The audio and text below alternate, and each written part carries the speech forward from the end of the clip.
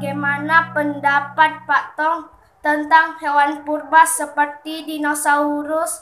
Apakah itu pernah ada atau hanya rekayasa saja? Dunia ini dulu banyak-banyak binatang. Tapi ada yang musnah, ada yang punah, ada yang berhenti berada. Jadi sekarang meskipun binatang masih banyak sekali. Tetapi di dalam zaman kita, kita sendiri melihat ada yang mulai berhenti ada. Misalnya badak mulai kurang. Ya, macan mulai kurang. Harimau atau singa mulai kurang. Ada juga insek-insek ya yang mulai kurang. Nah, ini membuktikan binatang yang baru karena apa yang dikatakan evolusi makin tambah makin banyak itu dah tentu. Tapi makin sedikit tidak ada itu adalah fakta. Jadi dinosaurus ada binatang purba yang besar tapi akhirnya menjadi musnah. Tidak ada.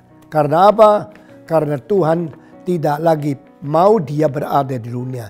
Dan kalau sekarang masih ada dinosaurus, pasti mengganggu hidup manusia. Misalnya yang seperti dinosaurus, ada semacam yang disebut masih ada di dunia, itu komodo. Komodo ada di mana?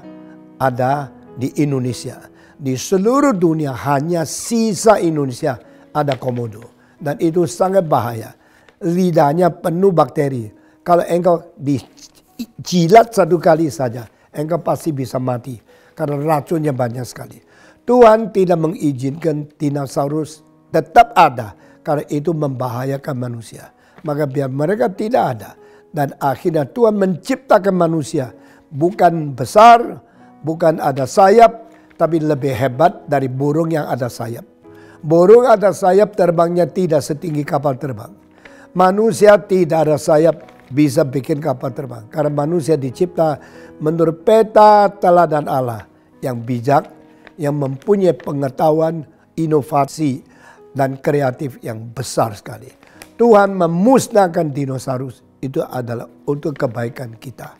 Sehingga dulu pernah ada, sekarang tidak ada lagi. Karena itu pimpinan Tuhan.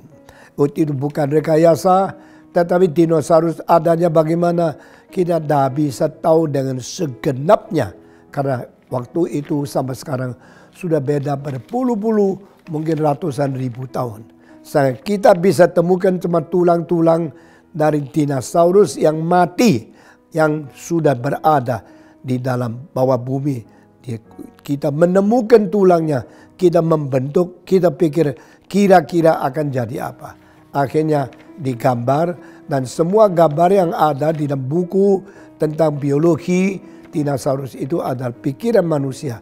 Jadi dinosaurus memang ada, tapi yang kita lihat adalah akibat gambarnya orang yang imajinasi tentang dia. Itu saja.